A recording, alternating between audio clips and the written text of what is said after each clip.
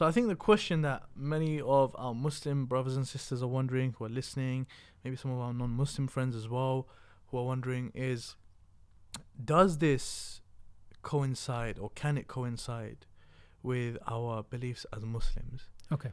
Evolution. Do we believe in it as Muslims? Okay. So we just need to step back a few steps before we answer that question.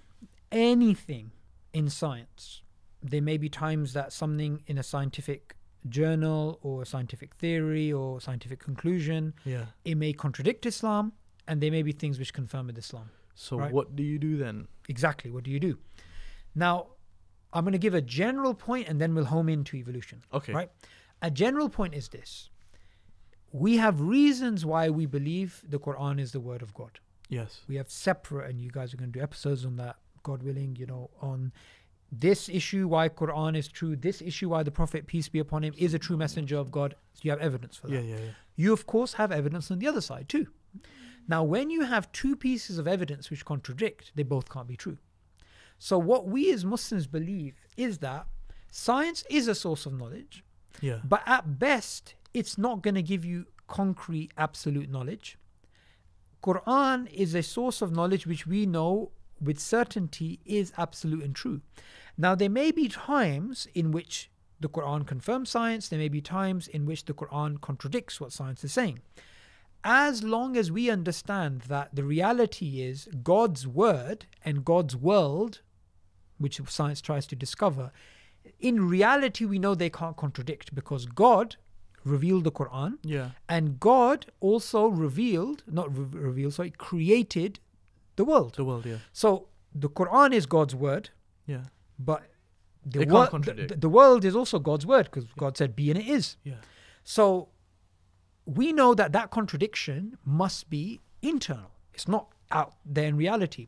So Something's being misunderstood yeah, somewhere. so something, there's a yeah. there's a really good example which is a case in point, right? Okay.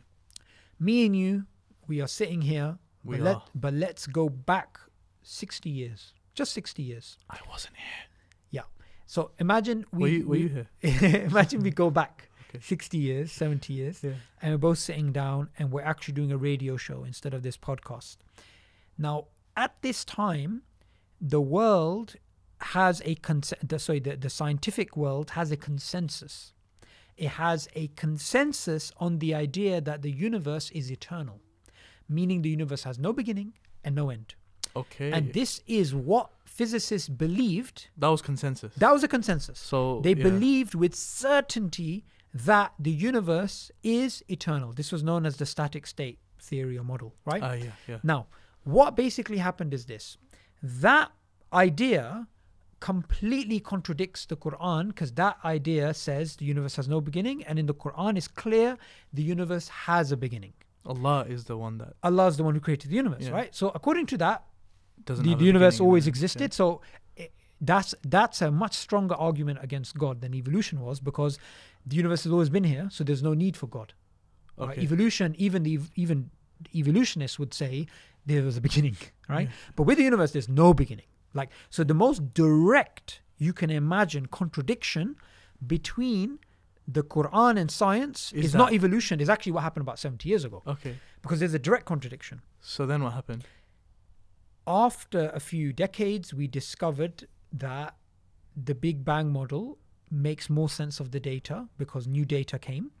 And the scientific world then changed its mind that the universe actually has a beginning. Wow. Now, Just like that. ju- yeah, I mean, it took a long time. I mean, some of the scientists were not happy with it and it took a long time. Especially what's interesting is the Soviet scientists Yeah. The communist scientists, Yeah. they didn't like it because it was an idea which was giving more air to religious beliefs. Mhm. So they were the like the least likely to accept it. Yeah. Anyway, so there's a contradiction in the Quran, which later on is no longer a contradiction. Now, why did Yeah. this happen? Because what science, the way science works is this. Me and you are scientists, and we're, we're, we're scientists, and we're trying to work out what is the color of swans. We're like, that swan's white, that swan's white, that swan's white. We've seen 500 swans. Okay. So we come up with the theory all swans are White. white. In the future, we may discover A a black black, swan. swan. Hmm. Therefore, our previous theory all swans are white goes out the window. Down the bin. Yep. In the bin. So, in science, you can always have a new con- new observation Yeah. which can challenge your previous theory. And that's why science isn't reliable as something individually. I wouldn't say not reliable. I would say that that's why it's beautiful because it can always change its conclusions. Okay. Yeah, it's not something which I've made a. I, I as a scientist I have see- made a conclusion and I'm going to stick to it forever. I think I see where you're going here. Is where you're going, science can always be changed and it's always changing based on discovery, research, etc., etc., etc. But Islam is not going to change. yes, but also something else which I was adding is that by looking at science, Yeah. we look at it has weight because of these reasons. Okay. We look at the Quran and it has weight because of these reasons. Yeah. So when we come across what looks like a contradiction, either we've misunderstood the Quran or we've misunderstood science, or actually no, those are the two possibilities. Either we misunderstood the Quran or we misunderstood science. So we need to look at it like this: the Quran has weight, and so does scientific conclusions. But the Quran as a as, a book, we know that certain things that it says it may contradict science today, but maybe perhaps in 100, 200, 500 years time, science will revise its conclusions and that will be more in line with the Quran. Yeah. It's not necessary that's going to happen in the future. And this is why it's very important that if we understand the rhetoric, the rhetoric behind evolutionary theory at a popular level Yeah. and at an academic level is totally different. When it came to, say, the, universe having no beginning, Yeah. there was a very clear, powerful reason for that according to the scientific data. Later on, we discovered it was wrong. With evolutionary theory, the way that we are taught it in schools, in textbooks, by popular writers like Richard Dawkins is it's as true as the shape of the earth. It's as true as there's a table in front of me.